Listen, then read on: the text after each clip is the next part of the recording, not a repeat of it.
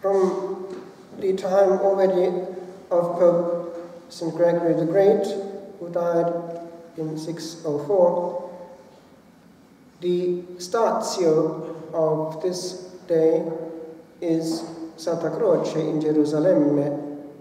That is one of the seven major basilicas in Rome, Holy Cross in Jerusalem, and the liturgical texts hover around the theme of that place. Laetare Jerusalem.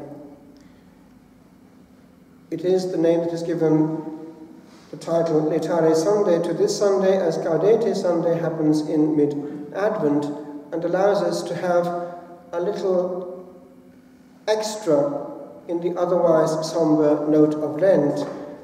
It was very much felt in the monastery where the prohibited coffee would reappear on one day, where flowers would reappear, and the organ also would have a burst. Joy we need, but a holy joy. We notice that Jerusalem appears also in the first reading, comparing the two covenants. We are freed but we often, if we're not careful, rebind ourselves. We are not free when we tie our own knots, when we create our own needs from which then we cannot be free.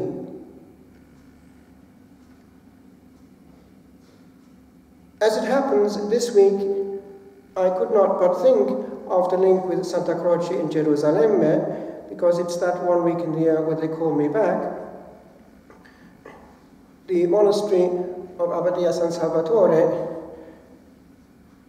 was for many years under Santa Croce in Jerusalem. And by the way, it's called in Jerusalem because of what happened when they brought back the major relics from the Holy Land after they had been found by St. Helena, the mother of Constantine the Great, but also the land. They brought back enough soil from the Holy Land to have a bit of Jerusalem in Rome. Hence the title Holy Cross in Jerusalem. But therefore, I was back in that ambiance, for which, by the way, I have the authentic relic of the Holy Cross. I told you before how it happened. It was cut in three. This one, which went to make a new foundation in Guadalajara, and then the foundation didn't take off and it came back and was split into three and I had one. It's now in my tabernacle in the second chapel I have.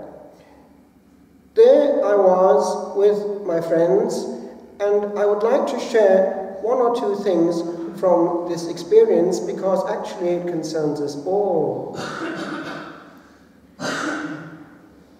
when one goes on an annual basis to do a very beautiful thing, which alas in Ireland we haven't got, the Blitz, the annual Blitz. It's all the houses in the whole of Italy, as far as possible, are blessed individually.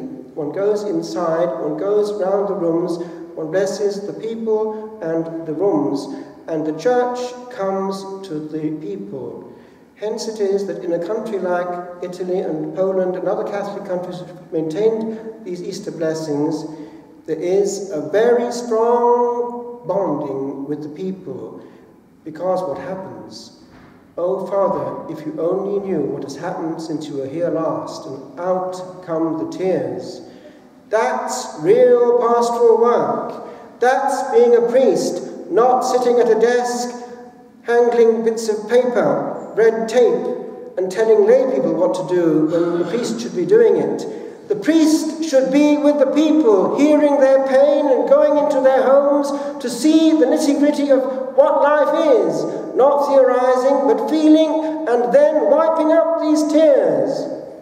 I was warned this time you're not to hear confessions when you go around, it takes too long, but they want to get to know you properly, and when you've got them, they come back. And in the most unexpected circumstances, you bless everything in sight doctors, surgeries, legal places, even aesthetic beauty places. And amazingly, they come out of the woodwork and want to come up to you even there. Father, will you be in church tonight? I mean, yes, in a beauty shop. I want to go to confession. That's real pastoral work. Right next to the people, where they open up. Why? because you've got them in their context.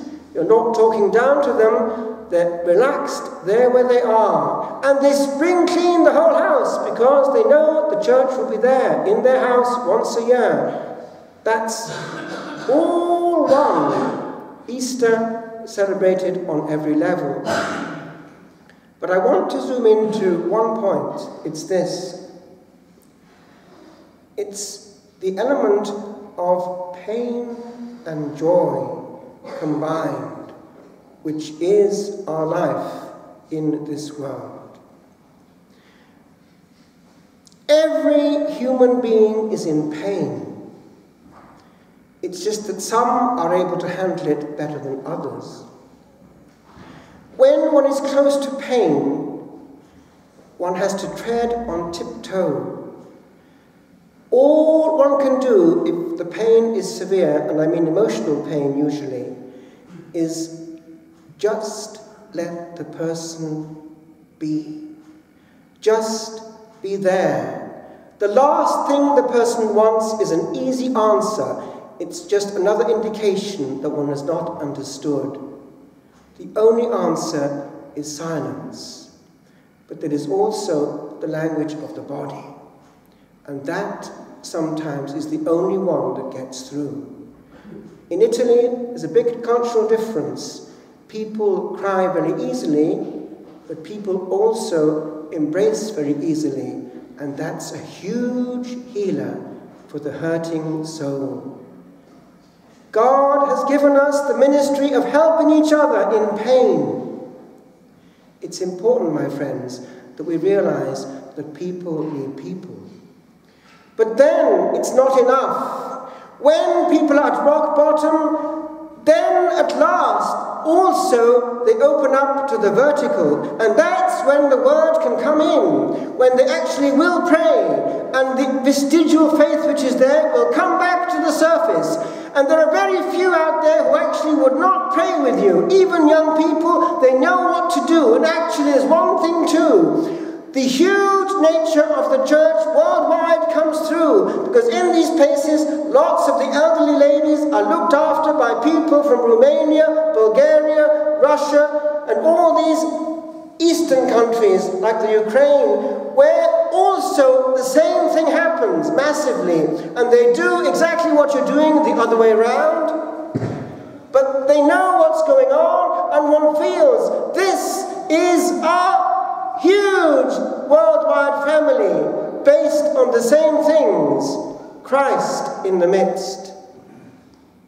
And by the way, do you know that Putin is not afraid to witness to the gospel at Easter and to say, above all, Christos Voskresis, very different to our people in Ireland who have a neutral Christmas and a neutral Easter. It's interesting to see what's going on on this big planet of ours, but this is our faith. Christ in the midst, Christ who cares for our pain enough to actually intervene in this multiplication of bread. I finish with this. Frances Hogan, in her first time in Africa, saw it happening before her eyes. People would come at the crack of dawn from kilometres away for the first Mass, and they would bring a few things to eat. This would go into a pot, and they'd dip in. They would come again for another celebration later, and another one later on. And she looked carefully at this pot, and she twigged, This is a miracle. There were hundreds and hundreds and hundreds of people coming all day long, and the level was always the same. It only when the last person was served at the end of the day. And this miracle happens again and again in Christian history. I have a friend who's seen it happen in her hands when she was working in Spanish Harlem. She only had a certain amount and was told by her superiors only a little, and she couldn't actually do it. A strong man needs more. So she gambled with providence and power, and before her eyes she could see the miracle was happening, always the same level until the last was served. It's also happened in clothing in Africa. It's on YouTube. Not only food, but clothing. By the hundred, they were giving up from these bags all they had, and the level was always the same until the last person was closed. God is God of all. He cares for his people. And we needn't be afraid or shy, for Christ is on side.